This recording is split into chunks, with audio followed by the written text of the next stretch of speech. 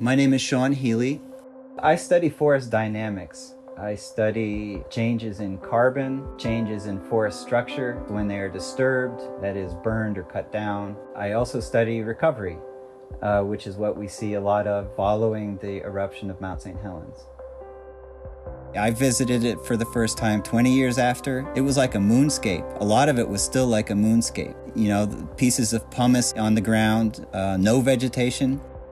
It has uh, been a place of extraordinary change over the last 40 years from really beautiful old growth forest to a moonscape, and then back again to a lot of unbroken, sort of 20 year old forests, uh, pretty high canopy cover, uh, a, lot of, a lot of trees there now. From the fringes of the blast zone, you definitely see patterns of revegetation. They start slowly with a little bit of greening, but by the time you get to the end of the time series, it looks pretty dark green. And you see the same thing on the ground. You, you see a, you know, maybe not a 40 year old forest, but something that looks 30 years old. And in this, in this part of the country, uh, trees are pretty tall after 30 years. What we're looking at is Mount St. Helens in southwestern Washington in 1973. The snow cover is what you see as white there, right in the middle of the mountain. It's surrounded by some dark, uh, deep reddish forests, which is basically how uh, this MSS imagery sees older growth forest.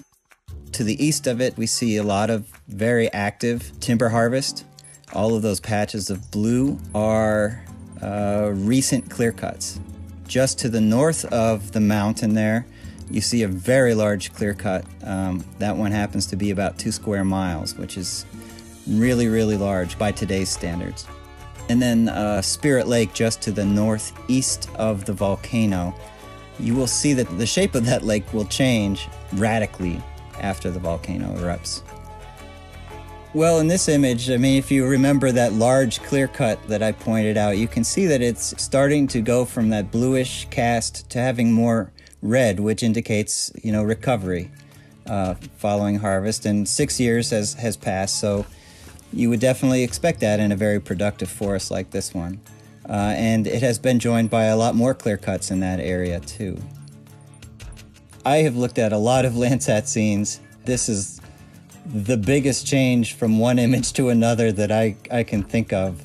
Forests and everything else, uh, many miles to the north, uh, were just incinerated. The blast and the heat and the ash uh, really uh, leveled a lot.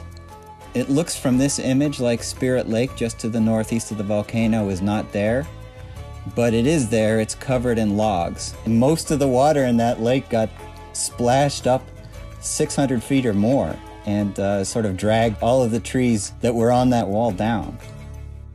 Over the 40 years since the eruption, you know, we do see that recovery happens first in the places that didn't have, uh, you know, that huge blast of heat and were not covered with many, many meters of ash or mud. In 84, the first thematic mapper, Landsat, was launched. So that, that really changes our ability to display this kind of image in, in something closer to true color. So it's much more intuitive. Green means green. So from this point forward, you can sort of visualize uh, the encroaching greenness, uh, which indicates, you know, the revegetating and reforesting areas after the eruption. Well, I'll also point out some of the remaining old growth forest that you can see in that very dark patch. In the MSS imagery, that was dark red. It's just much more intuitive to, to spot that kind of dark green when we can display it in true color. You can see in the early 90s, clear cuts starting to pop up. So basically, it looks like it's going from green to some kind of brownish color. Even as the outer edge of uh, these clear cuts are growing and filling in. The inner edges are, are greening up and, and uh, turning green. And by the, by the end of the time series, you know, they look pretty green, even though we just saw them get cut 30 years before that. So we have basically made a model that uses the imagery to predict what percent cover there is. Basically, how thick is the tree canopy here. And through the time series, you can see much of the blast zone going from red, which is zero trees, to pretty green, which is, you know, pretty solid tree cover. And that's, that's really solid documentation of, you know, the recovery of the forest in this area.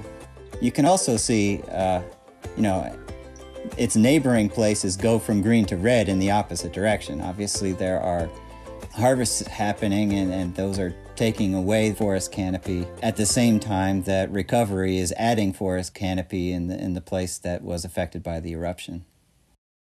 The really unique part about the Landsat record is the fact that it goes back to the 70s. Uh, I can't imagine what it would be like to, to describe what this volcano did without having a time series of Landsat. We've got eight years before the eruption and 40 years after the eruption. There is no other asset in the sky that can show us what Landsat does in terms of uh, the effect of this eruption and also the effect of recovery following the eruption. Uh, it's just amazingly lucky that Landsat was up there and, and in its spot in the sky to, to watch this whole thing unfold.